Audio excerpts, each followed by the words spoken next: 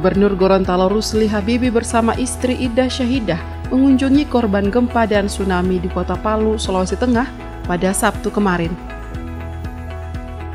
Gubernur Rusli yang didampingi oleh Danrem 133 Nani Wartabone dan Lanal, Kajati, Kabinda, Kepala Pengadilan Tinggi serta sejumlah pimpinan OPD terbang ke Palu menggunakan pesawat Wings Air. Sejak hari pertama hingga saat ini pemerintah provinsi, kabupaten kota dan masyarakat Gorontalo bahu-membahu meringankan beban korban bencana Sulteng. Sedikitnya ada tiga posko yang dibangun, yakni posko dapur umum, posko BPBD serta posko Dinsos Pohuato berlokasi di Palu Barat yang mampu melayani 10.100 pengungsi. Titik pertama yang dikunjungi Gubernur Rusli bersama rombongan yakni posko dapur umum yang dibangun di kompleks kantor Dinas Sosial Provinsi Sulteng.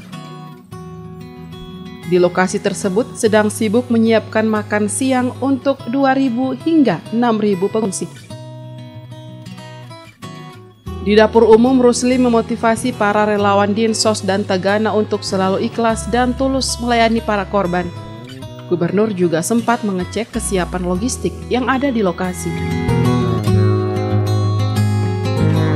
Rombongan selanjutnya bergerak ke posko induk Pemprov Gorontalo yang berlokasi di kantor PU dan Bina Marga Sulteng.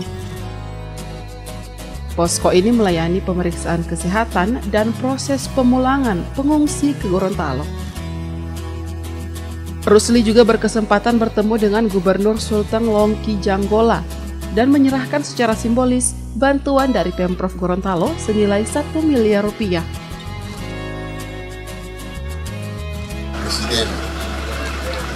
Pak Joko Widodo, seluruh gubernur Bupati Wali Kota se-Indonesia, apalagi tetangga dari Sulawesi Tengah untuk segera memberikan bantuan apa pun, baik tenaga, pikiran, barang-barang dibutuhkan, dan alhamdulillah beberapa hari ini saya pemerintah provinsi kabupaten kota provinsi Gorontalo telah melaksanakan itu.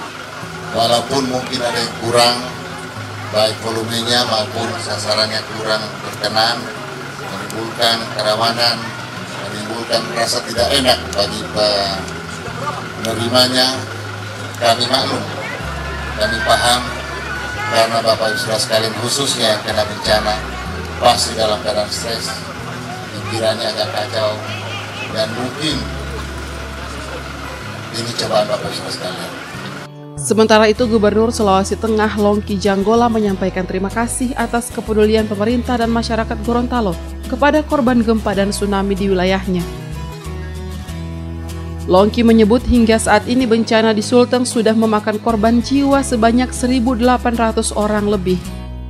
Angka itu dipastikan masih akan terus bertambah mengingat masa evakuasi akan diperpanjang hingga dua bulan ke depan. Dalam kesempatan itu pula Gubernur Sulawesi Tengah Longki Janggola meluruskan pernyataannya yang sempat viral beberapa hari lalu. Gubernur Sulteng dua periode itu mengaku kecewa dengan ulah pendatang yang dinilainya hanya mengeruk untung dari daerah. Saat ditimpa bencana, mereka menjadi orang pertama yang keluar dari Sulteng musibah, bencana, tidak ada satupun kita bisa mengira dan memperkirakan kapan datangnya bencana. Ini semua adalah rahasia Allah, rahasia Tuhan, dan sebagai manusia biasa, ya kita harus bisa menerimanya, tabah dan ikhlas, serta siap untuk menghadapinya. Saya tidak usah bilang lah, ya, siapa dia, yang datang berusaha di sini, membuka usaha di sini, yang punya macam-macam di sini. Kemudian mereka ini yang lari di hari yang pertama. Siapa yang tidak sakit hati Bapak Makanya jangan heran kalau ada penjarahan, ada dan segala macam. Inilah sebenarnya yang saya maksud. Tetapi tolong dipahami, karena kondisi itu adalah kondisi yang harus saya ungkapkan. Dan saya bertanggung jawab dengan apa yang saya ungkapkan. Nah itulah tetapi percayalah, saya sangat memahami dan terima kasih Pak Gubernur Gorontalo. Kita sudah memang sepakat sesuai dengan perintah Bapak Presiden, Wakil Presiden, dan Menteri-Menteri terkait. Untuk anak sekolah semua tingkatan, mereka kalau pergi ke Gorontalo harus bisa diterima di Gorontalo. Mulai SD, SMP, SMA, SMK, bahkan perguruan tinggi sekalipun. Mereka bisa kuliah di Gorontalo dan bisa harus diterima mana mereka pergi, di situ dia bisa kuliah, disesuaikan dengan mana jurusannya. Kepada korban warga Gorontalo di Palu dan sekitarnya, Gubernur Rusli menawarkan untuk pulang ke Gorontalo dan tinggal bersama sanak saudara di kampung halaman.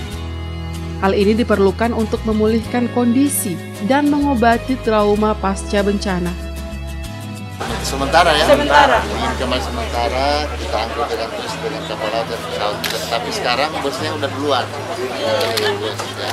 Saya kayaknya juga mengungsi di Gorontalo. Ya, boleh, boleh, silakan. Anak-anak mau Iya, tolong diobat di sana. keluarga juga di kontak sana ya. Iya. Ada kontak keluarganya. Sudah. Siap menerima. Siap. Ya, kita bantu ya. Bagi anak-anak sekolah, Rusli memastikan pendidikannya tetap berjalan selama di Gorontalo.